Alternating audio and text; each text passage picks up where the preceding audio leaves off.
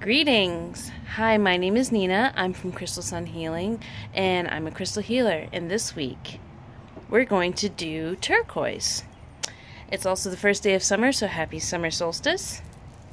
So we have turquoise here. I don't know if you can see this, but different kinds of turquoise. There's a little bit of peridot mixed in. And some more turquoise.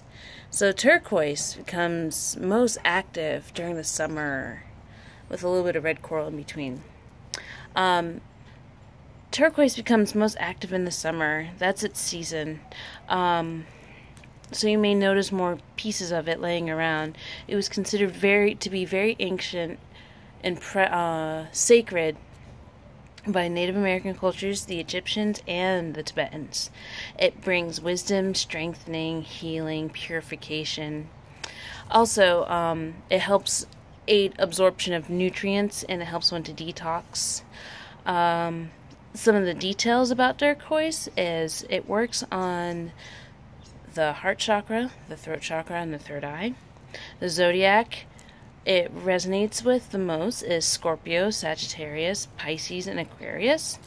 Its energy is very masculine or projective. The planets it resonates the most with is Venus and Neptune, and it contains the elements of earth, air, and fire. So, when working with turquoise, it's really good for promoting truthful expression, speaking from one's own purpose. It helps one to calm down, reducing irritability. It's good for those who suffer from panic attacks. Um, it's good to help, uh, let's see, strengthen the vision. It's help, good for accessing ancient wisdom or doing any kind of past life work. Um, communication, working on the heart. So this one's going to be more geared towards the throat.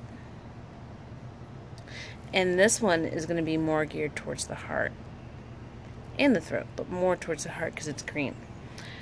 Um, one of these is found in southwest region of North America, and some of these are found in various places around the world.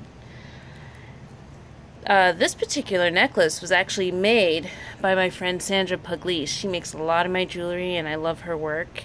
And this particular choker slash tiara is made by my friend Samantha Stokes, and I love her work, and I wear a lot of her work as well. So I just wanted to give a little credit to some of my friends. You should check out some of their work.